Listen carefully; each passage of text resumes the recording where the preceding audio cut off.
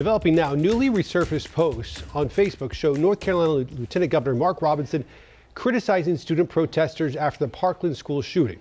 CNN uncovering the posts the Republican candidate for governor made on Facebook back in 2018.